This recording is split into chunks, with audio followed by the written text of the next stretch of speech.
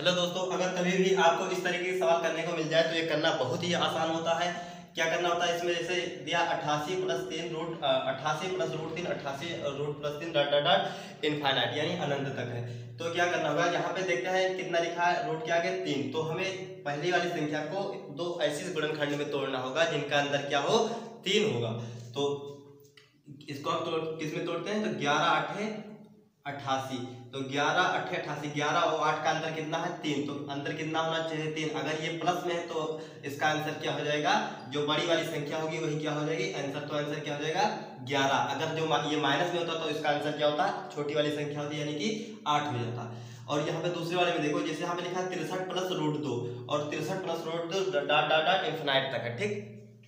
तो तिरसठ को हमें एक दो ऐसे गुणनखंड में गुणनखंड में तोड़ना होगा जिनका अंतर क्या हो दो हो। तो इसको किसमें तोड़े? तो नौ नौ सौ तिरसठ नौ गुड़े सात के में हम तोड़ देते हैं और नौ और सात का अंतर कितना है? दो है। यानी कि जो रूट के बा, बाहर लिखा होता है संख्या उसी का क्या होना चाहिए? अंतर होना चाहिए। तो नौ और सात का अंतर कितना है? तो दो है। तो नौ सौ तिरसठ तो इसका आंसर क्या हो जाएगा? जो प्लस में है तो बड़ी वाली संख्या इसका क्या हो जाएगा? आंसर अगर यही माइनस में होता तो इसका आंसर क्या होता? सात होता। तो यहाँ पे देखिए बहत्तर प्लस रूट बहत्तर प्लस रूट बहत्तर डॉट डॉट इन्फिनाइट ठीक?